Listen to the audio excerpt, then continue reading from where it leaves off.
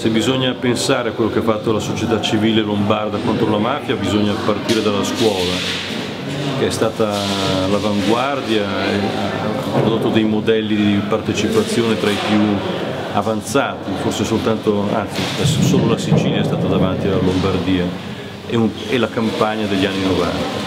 Ma eh, devo dire che quello che si ha è una ricchezza straordinaria di iniziative, di, che ha riguardato tutto il mondo della scuola, non l'università che è arrivata dopo e noi dobbiamo chiederci come mai con una scuola che si è data tanto da fare sull'educazione alla legalità poi eh, la società degli adulti sia rimasta passiva eh, per tanto tempo.